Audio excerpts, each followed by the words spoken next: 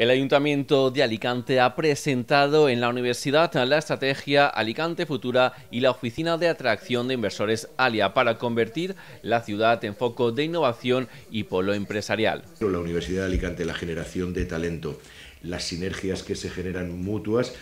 resultan absolutamente imprescindibles para que una estrategia de futuro transformadora de un tejido productivo, pero también de toda una ciudad, una comarca y una provincia, como es esta estrategia Alicante Futura, es un actor absolutamente imprescindible. Durante la presentación se ha hecho hincapié en el objetivo de la estrategia, que es la búsqueda y captación de inversores nacionales e internacionales y que puedan implantarse en la provincia, por lo que la creación de suelo industrial